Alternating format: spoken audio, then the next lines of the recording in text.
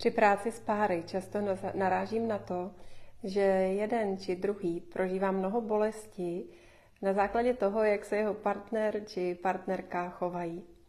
A kdy on či ona něco řeknou, něco udělají nebo naopak neudělají.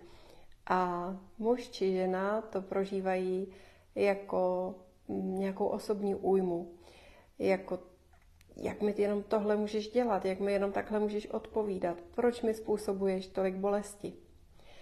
A mnohdy v tom nevidíme, že zatímco ano, někdy se ten druhý může chovat jako slon v porcelánu, ale velká část těchto situací a toho pocitu zranění vzniká ne na základě chování druhého, ale na základě toho, co jsme prožili my sami v našem dřívějším životě.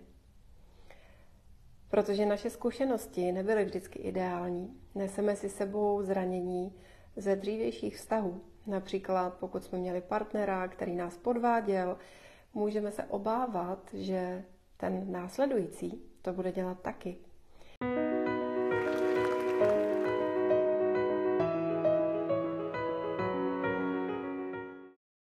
A můžeme jít ještě dál, protože náš výběr partnera a dynamika, kterou ve vztahu zažíváme, je často úzce provázaná s tím, jaký jsme měli život předtím, než jsme do toho vztahu vstoupili.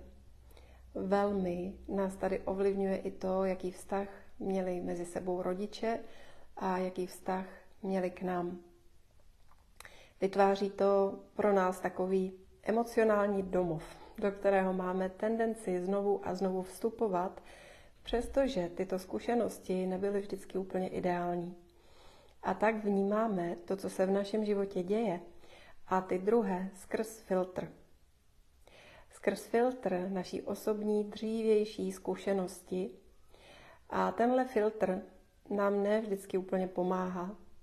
A protože filtrovaně vnímáme, tak k sobě nejenom přitahujeme určité typy zkušenosti, ale dokonce vyzařujeme něco, co tyto zkušenosti přitahuje. Například, když od druhých očekáváme jen to nejhorší, můžeme se začít chovat s určitou nedůvěrou, podezíravostí, ostrostí, napětím. A tak vlastně, i když nevědomně a nechtě, můžeme v druhých vytvořit také určitou přiostřenou reakci, protože ta ostrost vychází už z nás. A tak máme na světě začarovaný kruh. Jak z něj vystoupit? Možná tušíš, že ten výstup ven není úplně v tom, že radikálně změníme kulisy našeho života. Někdy ano, někdy potřebujeme vystoupit ze vztahu, který je skutečně toxický, někdy potřebujeme opustit práci, která není pro nás. Ale mnohdy nemusíme nutně opustit to, kde a s kým v životě žijeme a to, co v životě děláme. Ale to, co by pro nás bylo užitečné opustit, respektive změnit, je naše vnitřní nastavení.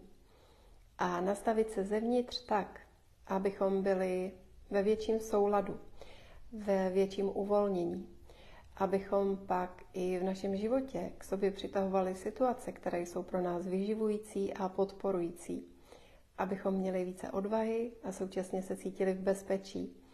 Abychom byli nastavení na lásku ve vztazích a skutečně ji také prožívali. A tohle všechno se děje, když si tohle nastavení umožníme v první řadě uvnitř sebe. Dokud budeme nastavení na drama, na hádky, na napětí, tak je dost pravděpodobné, že takové situace všude kolem sebe uvidíme a budeme prožívat. Ale když budeme nastavení na větší flow, na víc lásky, na víc spolupráce, na porozumění, tak těchto situací budeme v našem životě zažívat mnohem, mnohem víc. No a jak se k tomu přiblížit? Jedním z velmi účinných nástrojů, který nám k tomu pomáhá, je tzv. předpis limbického otisku. Je to nádherná vedená meditace, kterou mi už před 12 lety předala moje učitelka Elena Tonety a ona ji vytvořila po velmi intenzivní meditaci, kdy několik měsíců meditovala a pak jí přišlo takové, dá se říct, jako vnuknutí nebo nápad, kdy ona tento nástroj, který pomáhá ženám i mužům, vytvořila. A já jsem Elenu poznala v roce 2011 a, a na jejím výcviku jsem se vyškolila a jedna z metod, kterou Elena předávala a kterou já s radostí předávám dál, je právě přepis limbického otisku. Můžeš ho teď zažít i ty ve formě online vedeného semináře. Je to zhruba pětihodinová zkušenost, která je nádherná, dojemná. Absolventi z pravidla hned bezprostředně poté komentují, že se cítí velmi uvolnění, že cítí úlevu, jako by něco těžkého odložili, že cítí lásku a že chápou, že je to jejich přirozená součást. A já bych tuhle zkušenost moc ráda dopřála i tobě. Tak právě proto vysílám tohle video, aby si se dozvěděla, či dozvěděl, že přepis limbického tisku existuje a na mém webu denisapalečková.cz si můžeš najít jeho nejbližší termín. V době, kdy tohle video vysílám, a ten nejbližší termín je už zítra na slunovrat 21.6. od 17 hodin.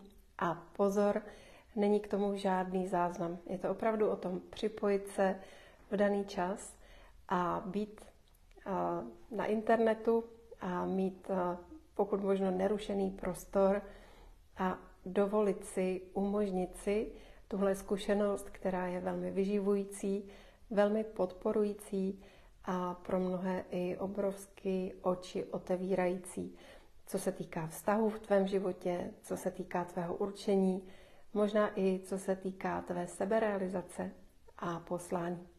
Srdečně tě zvu být u toho.